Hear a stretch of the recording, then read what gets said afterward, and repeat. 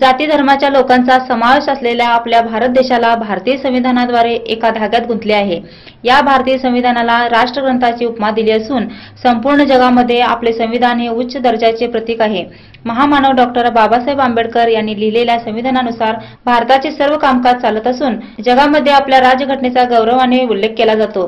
देशासाठी अभिमानाची बाब असताना मनोवादाच्या मानसिकतेचे असलेले दिल्ली येथील जागतिक आरक्षण विरोधी मंच या संघटनेचे प्रमुख श्रीनिवास पांडे व त्यांच्या विकृत कार्यकर्त्यांनी नऊ ऑगस्ट दोन हजार अठरा रोजी दिल्ली येथील जंतर मंतर या ठिकाणी पोलीस यंत्रणेसमक्ष भारतीय संविधानाची जाहीररित्या होळी करीत घटनाकार महामानव डॉक्टर बाबासाहेब आंबेडकर यांच्या निषेधाच्या घोषणा दिल्या आहेत. या संदर्भात निप्पाणी तालुका विविध दलित संघटनेच्या वतीने तहसीलदारांना निवेदन देण्यात आले. या संदर्भात आंबेडकर चळवळीचे कार्यकर्ते सुधाकर माने अविनाश कट्टी यांनी प्रतिक्रिया व्यक्त केल्या. तर नंतर दिल्लीच्या मैदानावर मनुवादी संघटनेने भारतीय संविधानाची जाळून उरी केलेली आहे.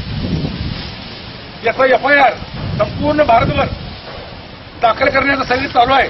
तहसीलदारांच्या मार्फत जिल्हाधिकाऱ्यांच्या मार्फत आणि पोलीस स्टेशनच्या मार्फत दिल्ली सरकारला निवेदन देण्याचं काही सगळी चालू आहे. आणि आज रोजी दलित निपाणीतील दलित विविध संघटनेच्या वतीन माननीय तहसीलदार साहेबांना आम्ही आज निवेदन देतोय. मुस्ताम राय श्रीनिवास पांडे रोहित गुप्ता कामिनी झा प्रवेश आणि दीपक पवार अशा एक आणि दहा जणांनी संविधान जाळण्याचं वाईट कृत्य केलेलं आहे.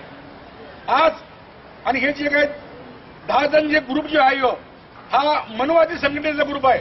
ह्याच लोकांनी नालंदा तक्षशिला हे विद्यापीठ त्यांनी जाळलेले आहेत. त्या ठिकाणी बौद्ध धर्माची संस्कृती वाढवण्याचं काम होत होतं त्या लोकांनी ती जाळलेली त्यांनी.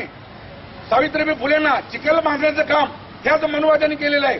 ज्या दिवशी बाबासाहेब आंबेडकरांनी संविधान ज्या दिवशी त्यांनी भारत सरकारला सोपवलं त्याच दिवशी ह्या ह्याच लोकांनी धिकार केलेला आहे.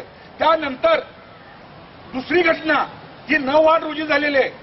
आम्ही आज असं म्हणतोय की अतिरेकी जी आहेत फक्त काही पाकिस्तानमध्ये असं नाही आहे ही भारतात सुद्धा अतिरेकी तयार व्हायला आलेत ही अतिरेकी वृत्ती आहे या अतिरेकी वृत्तीनं जर वीज आपण जर कधी नाही जर त्याला झापून काढलं किंवा त्याला नाही जर तिथं थांबवलं तर उद्याला ही जातीवादी संघटना ह्या स्वरूपात अशा पद्धतीची मनोवृत्ती आणण्याचा यांचा प्रयत्न चाललेला आहे.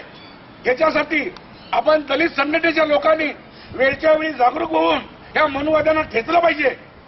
याच्यामुळे जर अशा घटना जर जर झाल्या तर काही संपूर्ण भारतातील दलित संघटना न बसतील असं कधीच होणार नाही.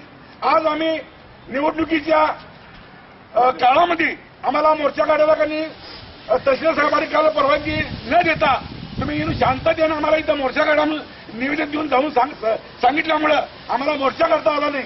आणि जर चुकून अशा घटना घडल्या तर संपूर्ण निपाणी चिकोडी तालुका बंद करून आम्ही भव्य प्रमाणात मोर्चा काढू आम्ही ठिया मारून बसू इथं.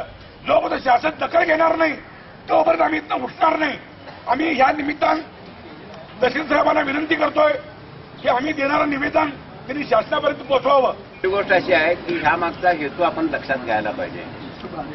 जे मनुवादी आहे त्या देशातले त्यांना दलित आणि मराठा आणि बहुजन त्यांना वेगळं करायचं आहे. यांच्यामध्ये फूट पाडण्या पाडण्याचा प्रयत्न चाललेला आहे हे आपण पहिल्यांदा लक्षात घेतलेलं पाहिजे. याचा पहिला प्रयोग एक जानेवारी रोजी भीमा कोरेगाव येथे झाला. तो फसला.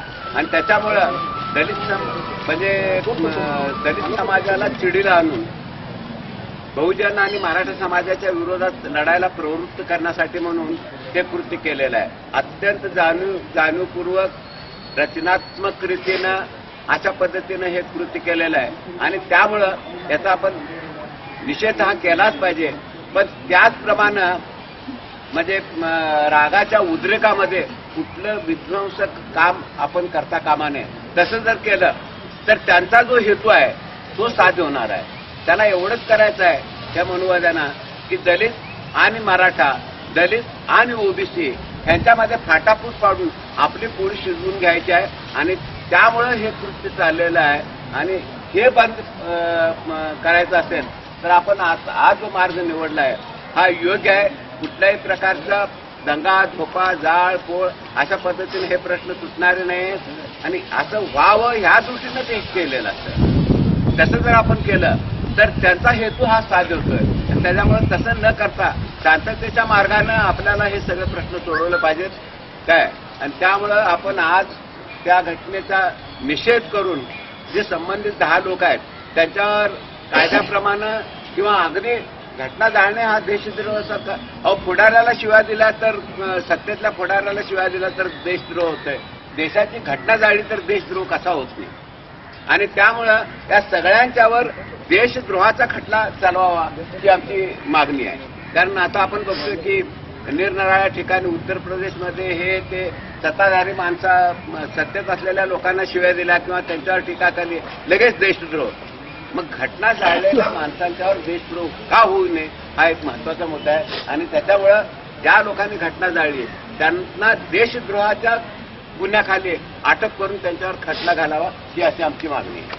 यावेळी मसू कांबळे रतन कांबळे अशोक लाखे गणू गोसावी संतोष कांबळे जीवन गस्ते रेखा कांबळे सर्जेराव हेगडे विश्वास माळी विलास गाडीवडर व दलित कार्यकर्ते उपस्थित होते.